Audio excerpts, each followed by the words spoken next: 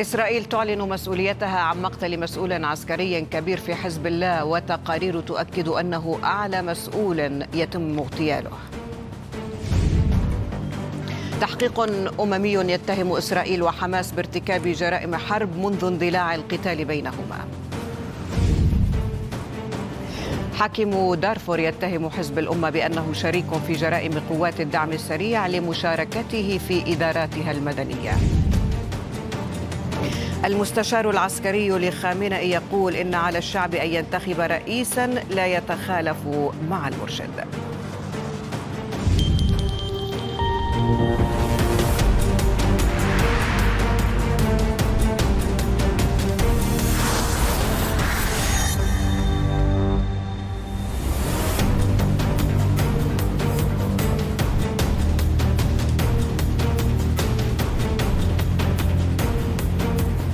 أهلا ومرحبا بكم مشاهدينا إلى هذه الساعة الإخبارية من الحدث.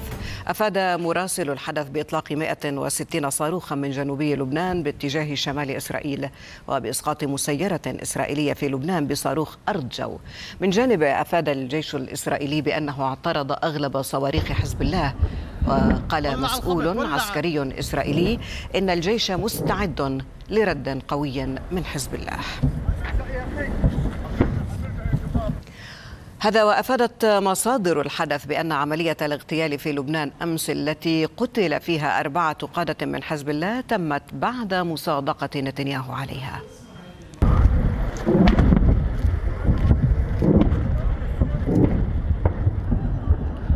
ولع الخبط ولعت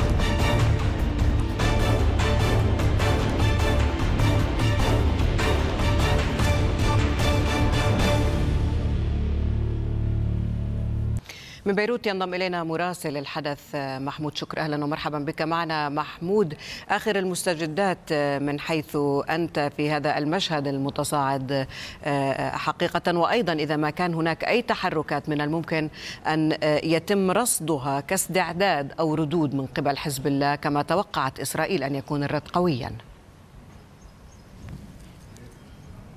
نعم حزب الله فعليا على الأرض هو بدأ بعمليات الرد مع ساعات الصباح الأولى ولكن إذا اخذنا البيانات التي أشار إليها الإعلام الحربي بالعمليات التي قام فيها ان كان باتجاه قاعدة ميرون وحدة العمليات الجوية للتحكم والسيطرة في المنطقة الشمالية أو أيضا ما تسمى بقيادة منطقة الشمال العسكرية أو أيضا المعمل العسكري في زرعيت نعلم إلى أن هذه الأماكن هو كان في الفترات الماضية قد استهدفها وعلى عدة فترات.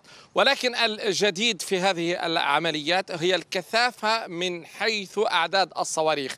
في الفترات الماضية كان في الفترات الماضية كان يقوم بإطلاق من 20 إلى 40 إلى 50 صاروخ على دفعة واحدة أو 60 اليوم نتحدث صباحا عن دفعة واحدة ما يقارب ال 160 صاروخ باتجاه الأهداف الثلاثة. فضلا على أنه قام بعد ذلك ليس بتهدئة الجبهة على المستوى الميداني إنما ذهب إلى عمليات التصعيد بعدد كبير باتجاه المواقع الإسرائيلية. إذا أخذنا الإعلام الحربي أيضا بحسب البيانات نجد إلى أن العمليات توزعت على طول الجبهة من سعسع إلى زرعيت إلى الرمثة إلى السماقة إلى أراميا ما بين القطاعات الشرقية والقطاعات الغربية وأيضا القطاع الأوسط. الإسرائيلي من جهته حتى هذا التوقيت هو يقوم بعدد كبير من الغارات الإسرائيلية باتجاه بعض المواقع أو المنازل كما حصل في بلدة ياطر التي أغار عليها على ثلاثة دفعات بثلاثة غارات. كانت آخر غارة منذ حوالي العشرين دقيقة.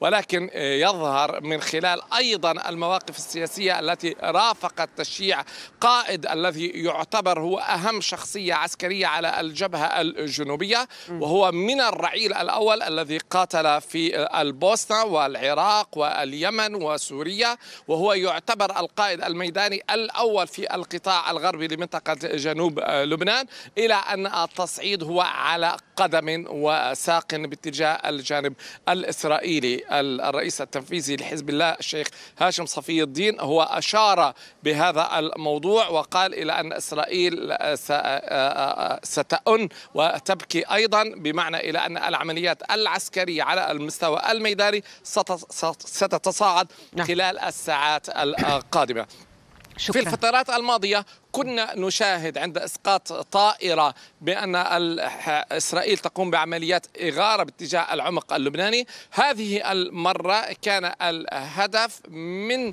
الصف الأول بمعنى إلى أنه أول نقطة ارتكازية للحزب في جنوب لبنان نعم. وهذه المسألة بطبيعة الحال لها ارتداداتها وحساباتها على مستوى التطورات العسكرية الميدانية على الأرض نعم. سنشاهدها في الأيام القادمة بالطبع سنتابع معك ومع الزملاء كل جديد من بيروت. كنت معنا مراسل الحدث محمود شكر. شكرا جزيلا محمود.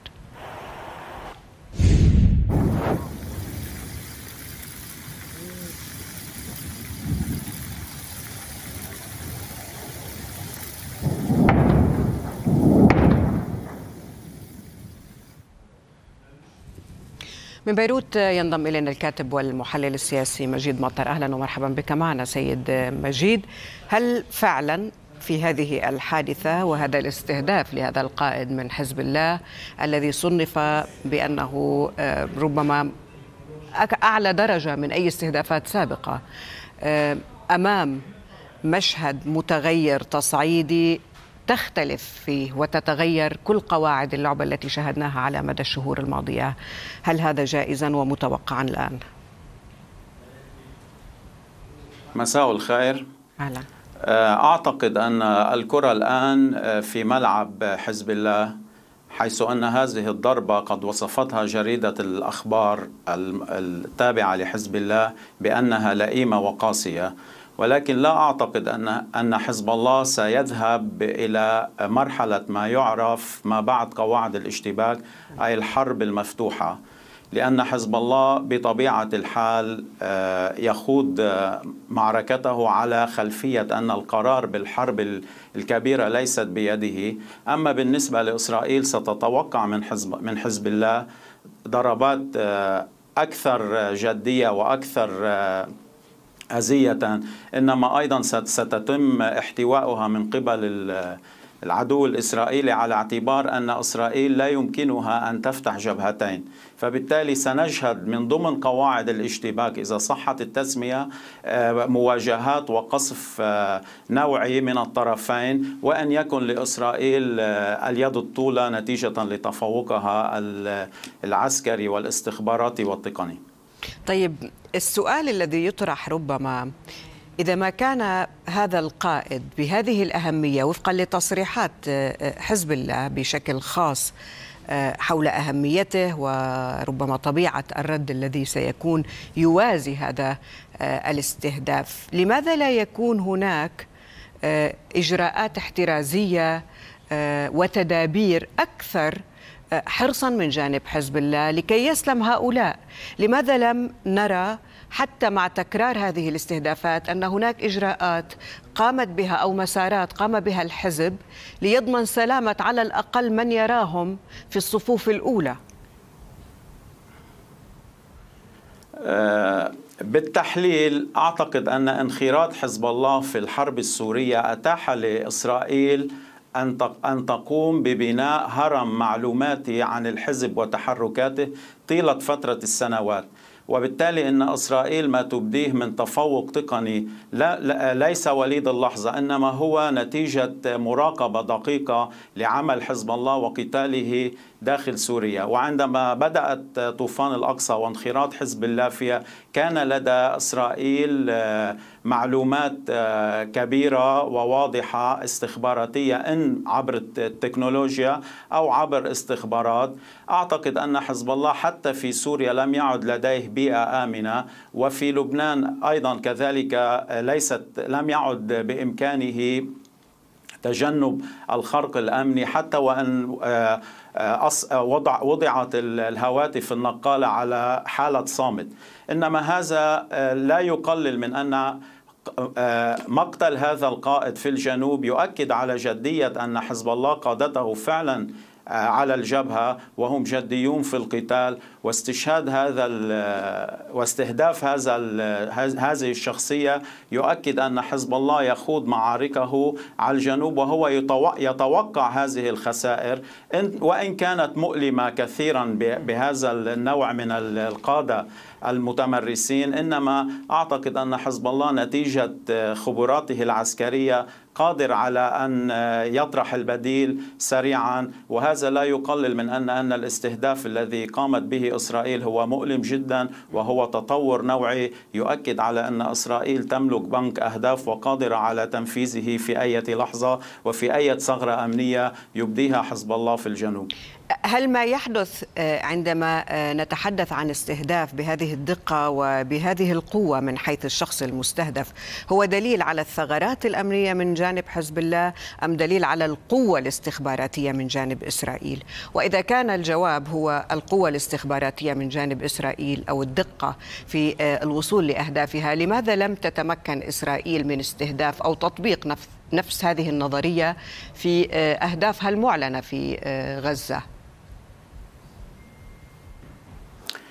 فيما يتعلق في لبنان آه، أعتقد مختلفة تختلف المسألة عن موضوع غزة.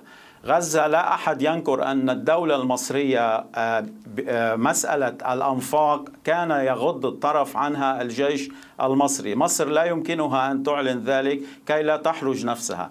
وبالتالي كان بناء الأنفاق يتيح أكثر سرية تجاه آه، تجاه إسرائيل بمعنى أنها لم تستطع أن تكتشف آه، بسرعة كما يحدث مع حزب الله.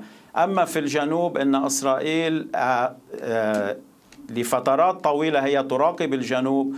هناك أكثر من عملية استهداف في الضاحية الجنوبية اللقيس تم اغتياله في الداخل. الاثنين العاملين اللذين آه، حضرتك آه، ذكرتهما أعتقد انهما متوفران في هذه الحالة. بمعنى أن هناك خرق لدى حزب الله ليس في لبنان بل في سوريا أيضا. وبالتالي هناك أيضا تفوق تكنولوجي لم يستطع إلى الآن حزب الله أن يعرف آه، مكوناته وأن آه، اعتبر في بداية الأمر أمين عام حزب الله أن التليفون هو الجاسوس الأول. م. أعتقد أن هناك تكنولوجيا أبعد من هذا. لم لم تعلن إلى الآن أبعد من هذا. ولاحقا بعد أن تجد إسرائيل تكنولوجيا أخرى يصبح لدينا معلومات متاحة. شكرا جزيلا لك من بيروت كنت معنا الكاتب والمحلل السياسي مجيد مطر. شكرا.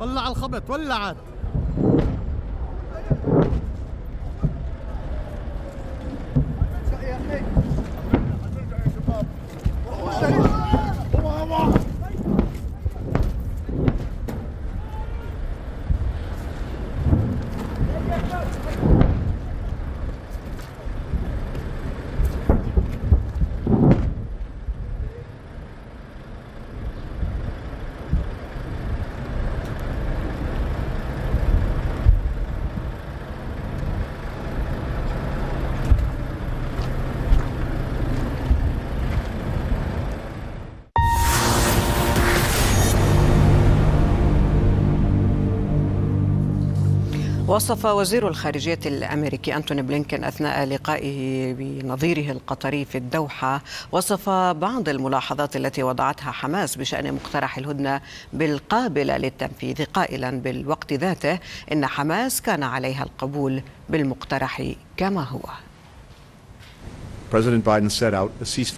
مقترح الرئيس بايدن أفضل فرصة على الطاولة لإنهاء المعاناة في قطاع غزة. إذ يضمن المقترح إطلاق سراح المحتجزين ووضع مسار لإنهاء الحرب. تلقينا رد حماس على المقترح. وقد اقترحت تغييرات بعضها قابل للتنفيذ. وبعض مطالب حماس بشأن الصفقة المطروحة لا يمكن تلبيتها. كان على حماس القبول بالمقترح المطروح على الطاولة كما هو. من جهته قال رئيس الوزراء وزير الخارجية القطري محمد بن عبد الرحمن آل ثاني قال إن كل يوم يستغرقه التوصل إلى اتفاق بإنهاء الحرب يدفع المدنيون في قطاع غزة ثمنه باهظا. نوجه رسالة للجميع أن كل يوم نخسره في هذا في هذا المجهود هو خسارة للأرواح ولأرواح المدنيين والأبرياء. يعني خلال الأشهر الثمانية الماضية للأسف نرى الكارثة تزداد يوما عن يوما ونرى مزيد من الضحايا خصوصا من المدنيين سواء كانوا الأطفال والنساء في قطاع غزة. ولا شك أن يجب علينا أن نقف بموقف واضح نطالب بإنهاء هذه الحرب. وشدد رئيس الوزراء وزير الخارجية القطري على أن التوصل لاتفاق ينهي الحرب في قطاع غزة. يتطلب تنازلا من إسرائيل وحركة حماس. كما ذكرنا في عدة محطات سابقة مثل هذا الاتفاق يأخذ الطرفين أن يقدموا تنازلات إلى إلى حين الوصول إلى تسوية مناسبة والوصول إلى اتفاق. فنحن في دولة قطر مع شركائنا ملتزمون بجسر الهوة ومحاولة حل هذه الفروقات في أفضل وسيلة لإنهاء الحرب في أسرع وقت ممكن. نقلت صحيفة تايمز أوف إسرائيل عن مصدر من الوسطاء في المفاوضات بين إسرائيل وحماس أن حركة حماس أدخلت تعديلات على المقترح شملت جدولا زمنيا جديدا لوقف النار وانسحاب الجيش الإسرائيلي من كامل قطاع غزة بما فيها رفح ومحور فيلادلفي على الحدود بين غزة ومصر. وأوضحت الصحيفة أنه إذا كانت التعديلات مقبولة فإنه من المرجح أن يشجع الوسطاء كل من حماس وإسرائيل على محاولة الالتقاء في مطالبهم عند منتصف الطريق ضمن مسار قد يأخذ ما لا يقل عن أسبوع مع الأخذ في الاعتبار الوقت الذي يستغرقه قاده حماس لإبلاغ الرسالة إلى صناع القرار في حماس القادة الميدانيين. نقلت صحيفة يدعوت أحرانوت عن مسؤول إسرائيلي قوله إن رد حماس الذي سلمته الليلة لمصر وقطر يعني رفض الحركة لمقترح وقف إطلاق النار في غزة الذي طرحه الرئيس الأمريكي جو بايدن. ووفقا للصحيفة اطلع رئيس المخابرات الإسرائيلية دافيد بيرنيا على تفاصيل طلع على تفاصيل حماس وأشارت المصادر المطلعة إلى أن الحركة غيرت المقترح بأكمله. توجه وزير الخارجية الأمريكي أنتوني بلينكين إلى قطر لإجراء محادثات مع القادة هناك في وقت قدمت حركة حماس ردها على اقتراح قادة واشنطن لوقف إطلاق النار في غزة. وكان بلينكن أجرى جولة هي الثامنة له في المنطقة منذ بدء حرب غزة زار فيها مصر والأردن وإسرائيل كما شارك في مؤتمر الاستجابة الإنسانية الطارئة لغزة الذي عقد أمس في الأردن. من دير البلح وسط قطاع غزة ينضم إلينا مراسل الحدث أسامة الكحلوت. أهلا ومرحبا بك معنا أسامة. أسامة هلا تضعنا في الأجواء من حيث أنت. الاستهدافات والضحايا وإذا ما كان هناك أيضا فكرة عن موضوع الجانب الإنساني وتداعيات تداعيات القصف الذي يؤثر عليها بشكل كبير اليوم.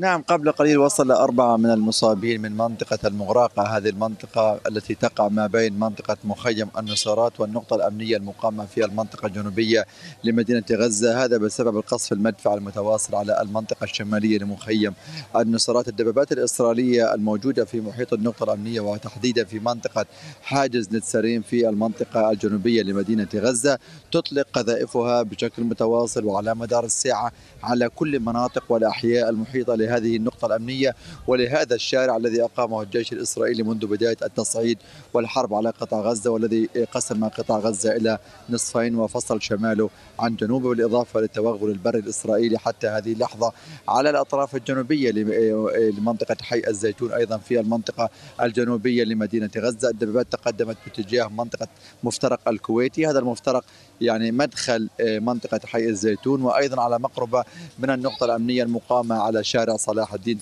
تحديدا نقطة حاجز نتسارين في منطقة مدينة رفح حتى هذه اللحظة القصف متواصل تحديدا على المنطقة الغربية لأن الكثافة يعني الدبابات متواجدة في منطقة محور فيلادلفيا وعلى الجانب الحدودي مع الجانب المصري. نتحدث هنا على تدمير كل القرية السويدية في المنطقة الغربية لمدينة رفح بالإضافة لتجريف غالبية المنازل في المنطقة المحيطة في هذه المنطقة التي يسكنها ما يقارب من 6000 نسمة في القرية السويدية في المنطقة الغربية لمدينة رفح. أيضا نتحدث هنا على استهدافات منذ صباح هذا اليوم حتى هذه اللحظة. كان هناك ثلاث استهدافات لمنازل سقط في هذه الاستهدافات لهذه المنازل سواء كان في منطقة حي الشجاعية أو في منطقة الزيتون 13 ضحية وعدد كبير من الإصابات نقلوا إلى المستشفى المعمداني. في كل ساعة يعني المستشفيات تعاني وترسل تحذيرات أممية وتناشد الجميع بأن يتم إدخال السولار بعد نفاذ كميات السولار الموجودة في مستشفيات جنوب قطاع غزة. ولكن هذه المرة المناشدات جاءت من المستشفيات في مناطق شمال قطاع غزة لأنها الآن مهددة بالتوقف. خاصة وأن أجهزة غسيل الكلى الآن متوقفة أو غير موجودة بشكل كافي للمستشفيات الموجودة في شمال قطاع غزة سواء كان مستشفى المعمداني أو كان مستشفى كمال عدوان الذي عاد إلى الخدمة قبل أسابيع قليلة. نتحدث هنا على نفاذ غالبية المواد الصحية والمستلزمات التي يحتاجها الأطباء من أجل تقديم الخدمة العلاجية حتى أن العمليات الطارئة باتت شبه مهدده بالتوقف لعدم وجود سولار في المستشفيات، لعدم وجود إمكانيات طبية وهذا ينعكس طبعا على المرضى والجرحى الذين يصلوا إلى المستشفيات، نتحدث هنا على نصف مليون مواطن حتى هذه اللحظة متواجدين في منطقة غزة وشمال قطاع غزة يعتمدون في حياتهم الطبية على مستشفى المعمداني ومستشفى كمال عدوان فقط. وأما باقي المشافي في مناطق الشمال مدمرة تقريبا بشكل كامل أو جزئي كما هو الحال في منطقة الجنوب. هنا فقط مستشفى شهداء الأقصى الذي نتواجد فيه الآن هو المستشفى الوحيد الذي يقدم الخدمة العلاجية الكاملة لكل المرضى والجرحى والمصابين.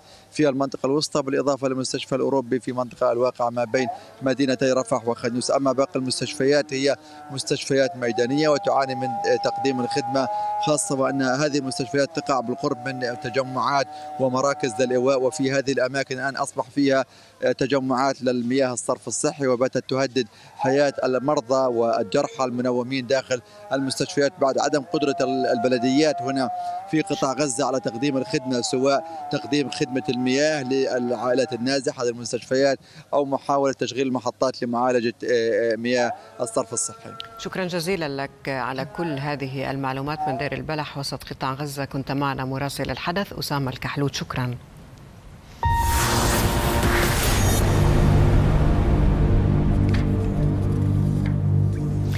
تفاقمت أزمة النازحين في شمال دارفور إذ قال ناشطون محليون يعملون في مجال الإغاثة بالولاية إن الأيام القليلة الماضية شهدت وصول أكثر من 34 ألف نازح إلى محافظة إلى محافظة طويلة على بعد 80 كيلومترا غرب الفاشر هربا من المعارك. وذكر مراسل الحدث أن الفاشرة تشهد منذ يومين أعنف اشتباكات بين الأطراف المتحاربة منذ اندلاع القتال بينهم قبل أكثر من شهر حيث دوت أصوات القصف المدفعي في أرجاء واسعة بالمدفعية بالمدينة. سجلوهم. الموت أصبح المظهر السائد في الفاشر. نازحون يروون للحدث شهادات صادمة عن ويلات الحرب في المدينة ومخاطر رحلة الهروب منها. والحالة صعبة يعني في تدوين تقولوا كده بس في يعني تجيكم دانا تجي تسمعوا أصوات. شلنا عيالنا طلعنا برا وتاني يوم فرينا بالعربات جينا. ووضع صعب والظرف صعب. ما انت ما بتتمكن انه تشيل حاجة تمشي بها وقبل اليوم ذاته ما في حاجة. طلعنا بحاله صعبة. وما في أكل وما في شراب والبيت ذاته سددنا خليناهم حاجة ما جينا بيه هاي. وهسه ممكن ندير لنا الموية والمستشفى وال... والطعين بتاعت الأكل بس. كنا الناس الجايين مشكلة. الجاية ذاته مشكلة الركوب خالي. الليلة في اسر جات وفي اسر قاعدة ذاته لسه ما جات ما بقدر كلهم بيجوا. يجوا حبة حبة. من الخرطوم ينضم إلينا مراسل الحدث المقداد حسن أهلا ومرحبا بك معنا المقداد. آه هذه آه ربما الأنباء والتوصيف بأنه آه اليومان الماضيان هما من الأكثر شدة في الفاشر. ما الجديد وكيف من الممكن أن تنقل لنا الصورة من هناك؟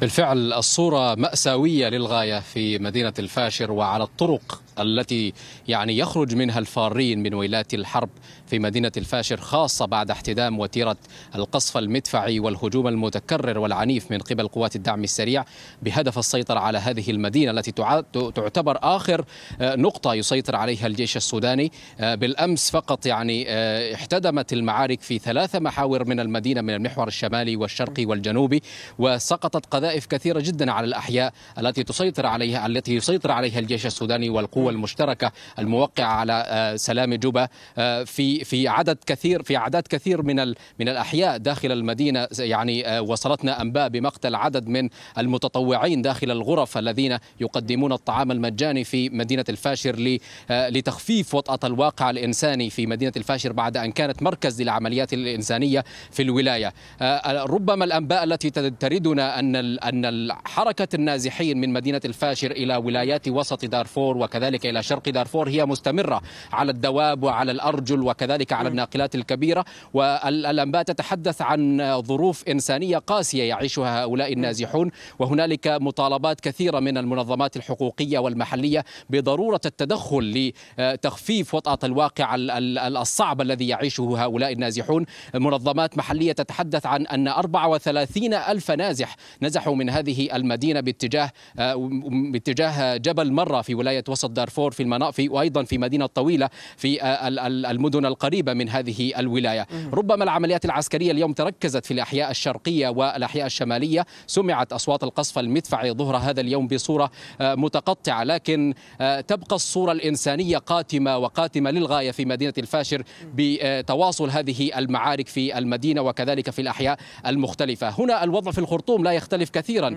ربما وطأة الواقع الإنساني أصبحت يعني يعني تؤثر على جميع من هم في العاصمة السودانية. يختلف كثيرا نتحدث عن انقطاع دائم لخدمات الكهرباء وليس وكذلك من حيث الاشتباكات والتصعيد العسكري أم في في كلا الجانبين مشابه الوضع؟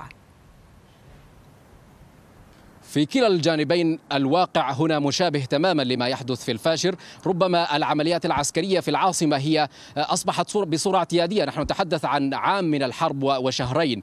لكن العمليات العسكرية هي متواصلة. اليوم استمعنا إلى أصوات انفجارات متقطعة صباح هذا اليوم إثر قصف مدفعي من قبل قوات الدعم السريع. بعدها ردت قوات الجيش السوداني على هذه التمركزات في جنوب وشرق العاصمة وأيضا في محيط سلاح المدرعات. وكذلك تصاعدت أعمدة دخان طفيفة من محيط القيادة القيادة العامة للجيش وربما الآن تتصاعد أعمدة الدخان من الأحياء الشرقية للقيادة العامة أحياء بري وكذلك ضاحية شرق النيل. ربما الأجواء في العاصمة أصبحت اعتيادية بحكم طيلة أمد الحرب في العاصمة السودانية الخرطوم بمدنها الثلاث لكن الواقع الإنساني أصبح يؤثر بصورة كبيرة جدا على جميع سكان العاصمة سواء نتحدث عن أحياء جنوب الحزام أو الأحياء الشرقية أو مدينة بحري نعم. فقدنا الاتصال مع المقداد ربما.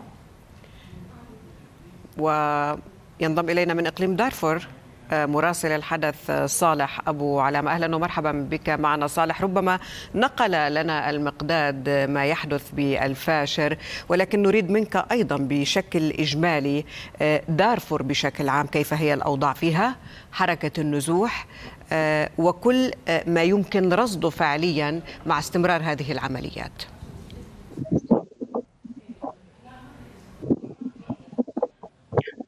نعم مثل ما تحدث الزميل المقداد بأن هنالك معاناة كبيرة ويخالفون من المعارك من مدينة الفاشر. لكن هنالك أيضا عدد كبير جدا من السكان ما زال باقيا داخل مدينة الفاشر. بعض الأسر التي تحدثنا إليها وهي خارجة من مدينة الفاشر قالوا بأن هنالك صعوبة في الحصول على الغذاء، هنالك صعوبة في الحصول على الاوراق النقديه بغرض قطع التذاكر بغرض إيجاد وسيلة للسفر خارج مدينة الفاشر.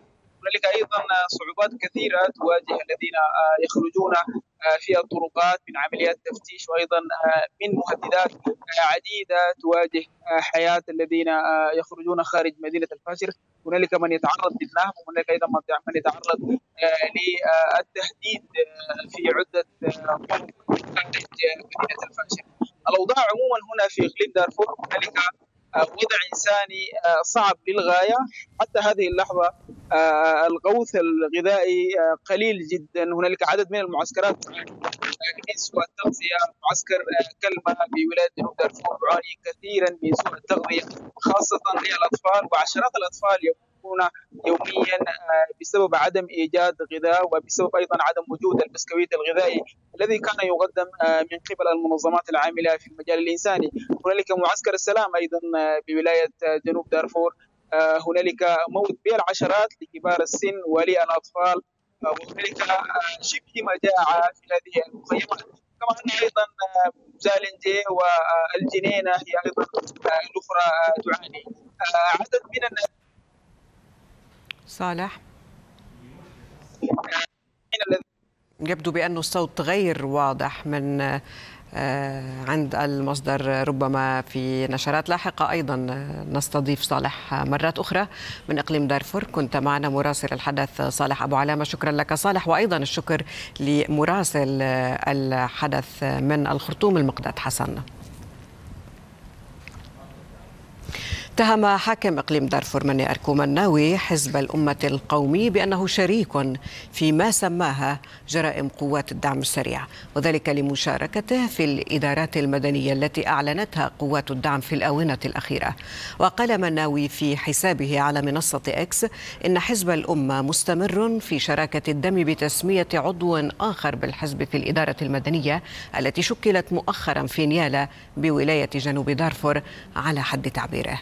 وكانت قوات الدعم السريع قد شكلت خلال الأيام الماضية إدارة مدنية في ولاية جنوب دارفور أسوة بما طبقته سابقا في ولاية الجزيرة. وأعلنت الإدارة المدنية في ولاية جنوب دارفور التابعة للدعم السريع. أمس الثلاثاء عن تشكيل ما سمتها أول حكومة مدنية مستقلة عن السلطة التابعة للجيش السوداني وسيطر الدعم السريع على أربع ولايات من أصل خمس في إقليم دارفور في حين يحتفظ الجيش والحركات المسلحة المتحالفة معه بمقارها في ولاية شمال دارفور. من باريس ينضم إلينا المحلل السياسي محمد الاسباط أهلا ومرحبا بك معنا سيد محمد. نريد أن نفهم هذه التشكيلة اليوم بعيدا عن الاتهامات التي توجه بها السيد مناوي لحزب الأمة ولكن شكل المشهد بماذا يوحي وبماذا ينبئ؟ من حيث التحالفات ومن حيث من ربما له الكلمة في الأيام القادمة.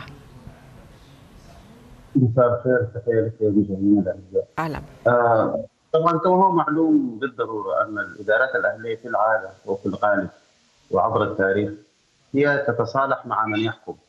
آه ويعني تجاري من يحكم. لأنه منطق الإدارة الأهلية عادة ان مهمتهم هي الحفاظ على أمن وسلامة واستقرار من يحكمونهم في القبائل وال وال ومن يدينون إليهم بالولاء.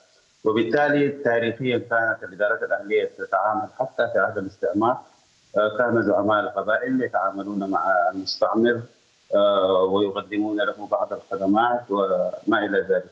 وبالتالي هذا الوضع وضع طبيعي ومتوقع إن الاداره الاهليه دائما مع من يحكم في حتى العهود الدكتاتورية والأنظمة الاستبدادية التي يعرفها السودان تاريخيا كانت الإدارات الأهلية يعني على وفاق مع أنظمة الحكم.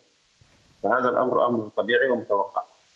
طيب هذه الاتهامات وهذا التشكيك بين الأطراف السودانية هل يعطي ضوءا في هذا النفق المظلم حقيقة إذا ما كان هناك أي مجال اليوم للحراك السياسي للتفاوض للجلوس والحوار؟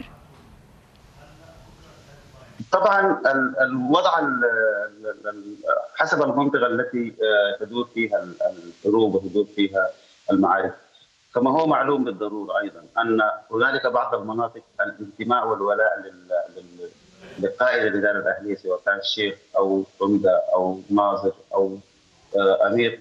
دائما المناطق التي يوجد فيها ولاء مطلق لهؤلاء القادة في العادة كلمتهم مسموعة. لكل من هم مسؤولون عنه بما في ذلك قادة الجيش وقادة الدعم السريع. ولا ننسى أن تحالف كان ضم قيادات الادارات الأهلية. والطرق الصوفيه استطاع أن يوقف الحرب داخل المدن في أكثر من خمسة مدن سودانية. بما فيها الفاشل حتى قبل يعني قبل ثلاثة أشهر كانت الفاشل يلتزم قاده الجيش وقاده الدعم السريع بعدم القيام بأي عملية حربية داخل المدينة، نفس الأمر تم في الضعين ونفس الأمر تم في الوجلد وفي الفولة وفي الدبيبات وظل قادة الجيش وقادة الدعم السريع يلتزمون بما, بما يعني طلبته منهم طلبه منهم ذلك التحالف الذي يسمى الإدارة التقليدية الطرق الصوفية والإدارات الأهلية. ولكن الآن الوضع اختلف، الآن ظل تحول تحول الأمر كما ذكرت وذكر كثيرون غيري أن السودان ينزلق إلى حرب أهلية، الآن بدأ الانتماء والولاء والتحشيد ينتقل إلى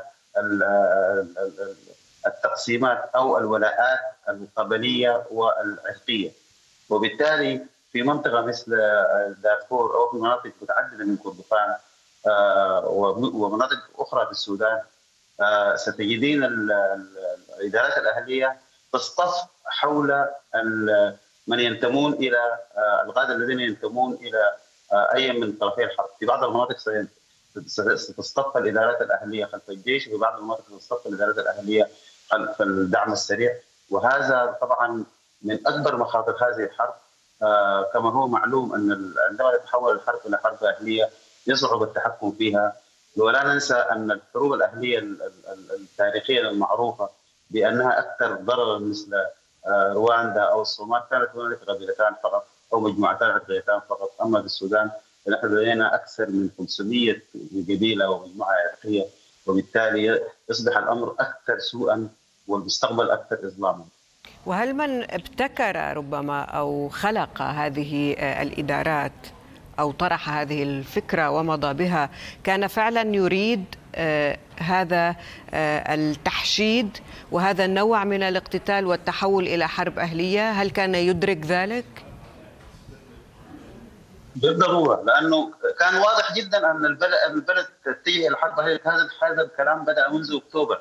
وكان وليس منذ أكتوبر بل منذ يوليو الماضي عندما يعني اندلعت احداث الجنينه وكان هنالك تصفية وقتل على العرق وعلى القبيلة. وبالتالي كان واضح جدا أن البلد قد تنزلق إلى هذا المنزلق، كان يمكن محاصرته لأنه كان في منطقة محدودة جدا في منطقة غرب دارفور، ولكن لأن قائدي الحرب وكنت كما أذكر دائما ليست لديهم حساسية وليست لديهما معرفة وليست لديهما خبرة في إدارة الصراع السياسي، التاريخ الرجلين يشهد بأنهما الخيال الوحيد الذي يلجأان اليه هو القتل ولا يملكان أي أدوات أخرى. وبالتالي لا يعني لم يعني يقفا أمام هذه المخاطر التي ستحرق البلاد وستحرق الإقليم كله.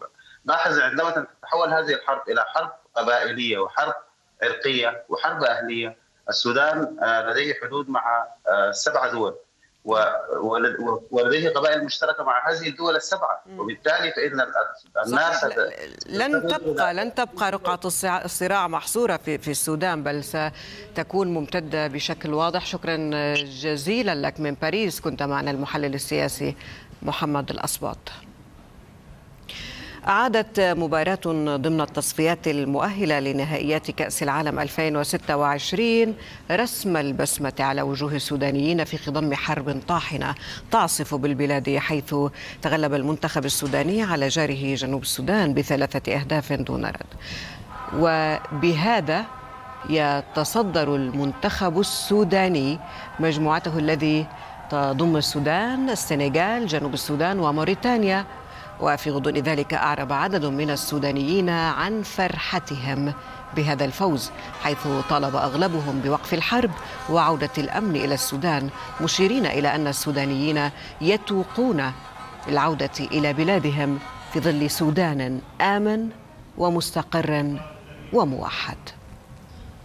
الصقور الجديان استطاع إنه يعني يعبر الحتة دي. يعني رغم الصعوبة ورغم الحرب والنادي لكن ما ترفين والحمد لله رب العالمين ولقدام إن شاء الله منصورين بتمنى من الشعب السوداني يعيموا بالاستقرار والأمن والرفاهية وإن شاء الله كلها ترجع.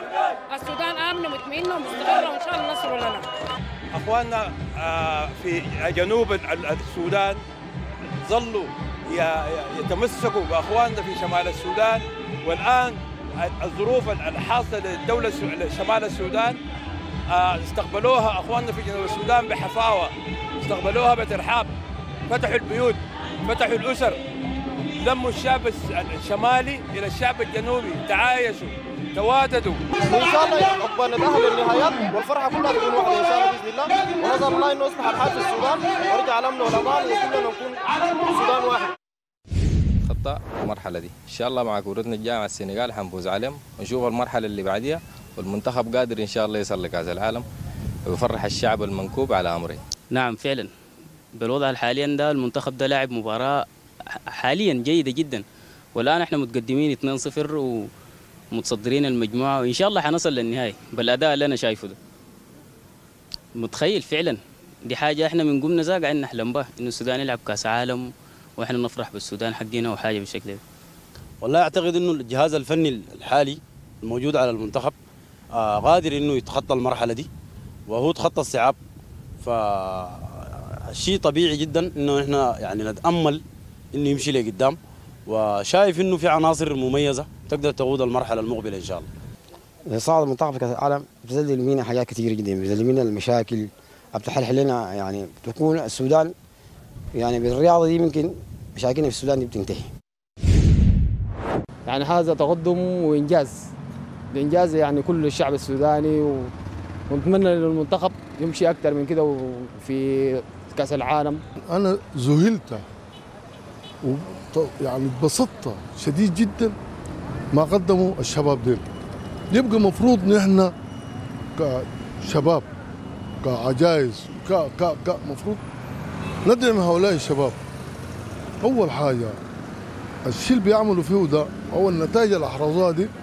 أنا شخصيا والله العظيم إذا قالوا لي من الآن ترجع تاني الرياضة عشان تخدم الشباب ده أهلا وسهلا. والله حاجة مفرحة وحاجة جميلة وشعور طيب والناس لسه متماسكة وبنعتبر إنه الحصل ده كله ما أثر في حياة الناس حتى حياة الرياضية والثقافية والحياة الفنية.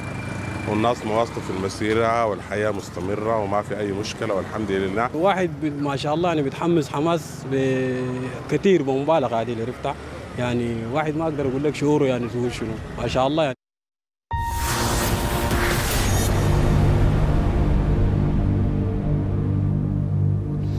قال اللواء رحيم صفوي المستشار الأعلى العسكري للمرشد علي خامنئي قال إن على الشعب أن ينتخب رئيسا يعتبر نفسه الشخص الثاني ولا يتحدث خلافا للمرشد. في الوقت الحاضر نناقش مشاركة الشعب الإيراني في انتخابات يوم الثامن والعشرين من يوليو ونأمل أن ينتخب الشعب الإيراني رئيسا يتولى السلطة الوطنية ويحافظ على الوحدة الوطنية لإيران ويحل مشاكل إيران وعلى الشعب أن ينتخب رئيسا لا تتعارض آراؤه مع آراء المرشد الأعلى ويعتبر نفسه الشخص الثاني. من لندن ينضم إلينا الباحث في الشأن الإيراني عارف نصر. أهلا ومرحبا بك. معنا سيد عارف. هذه التوصية من السيد رحيم صفوي هل هي تخوف تجلى بهذه التوصيات أم أنه تأكيد للمؤكد؟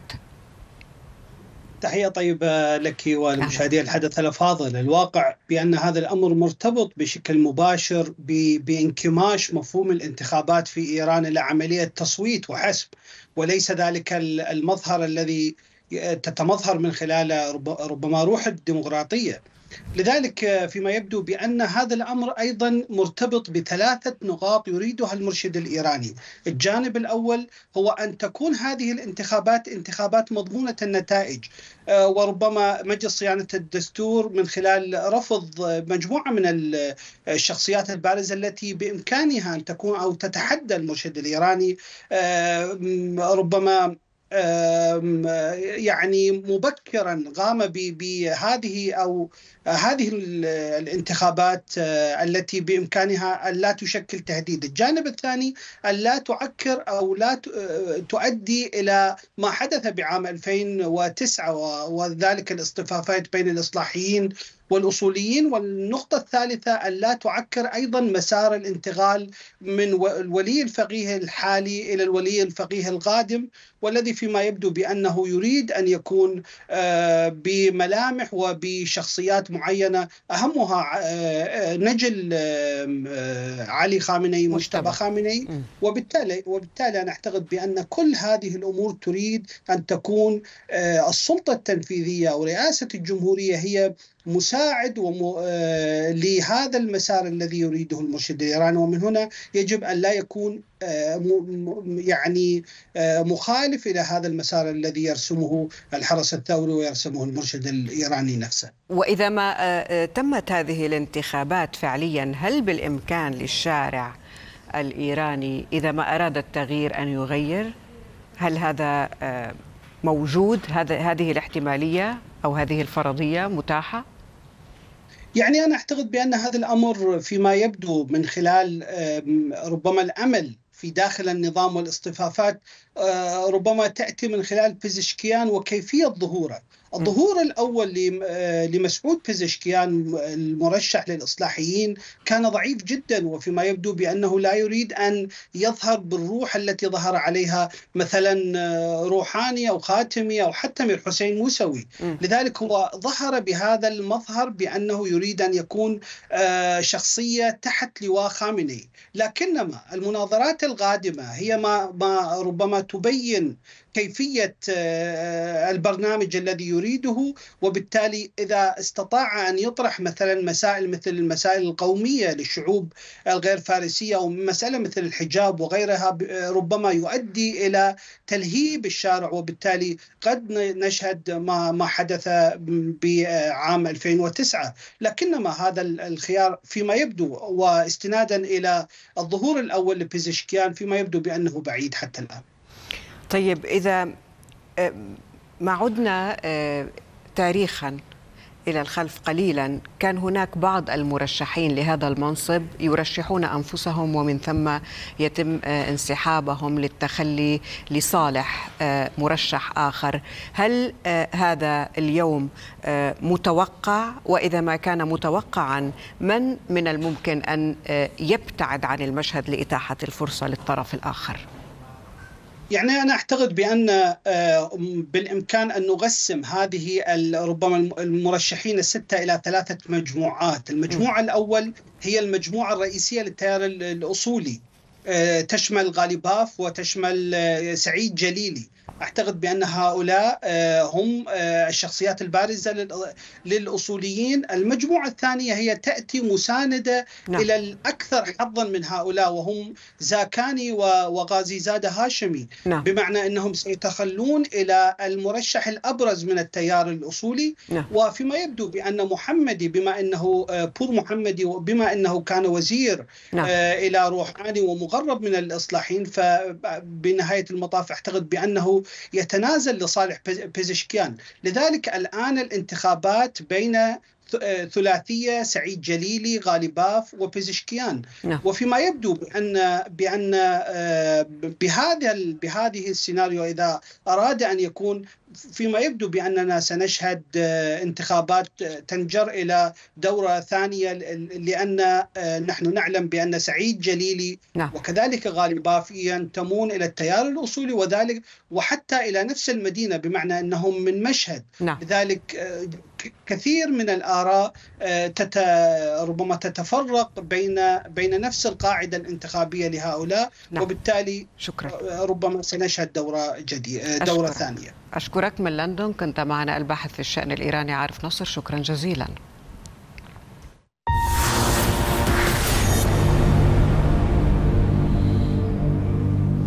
إذا مشاهدينا بهذا تنتهي هذه الساعة الإخبارية ولكن للمزيد يمكنكم متابعة قناة الحدث على منصات التواصل الاجتماعي وأيضا يمكنكم التفاعل معها وزيارة الموقع الإلكتروني الحدث دوت نت. إنجي تلتقيكم على رأس الساعة وأنا أعود وألتقيكم بعد ساعة من الآن.